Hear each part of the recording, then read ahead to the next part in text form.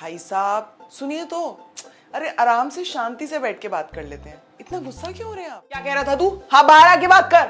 हाँ मिस्टर मैं तेरे से बात कर रही हूँ। बीवी के बल्लू के पीछे मत छुप। हाँ उंगली किसी और को दिखा।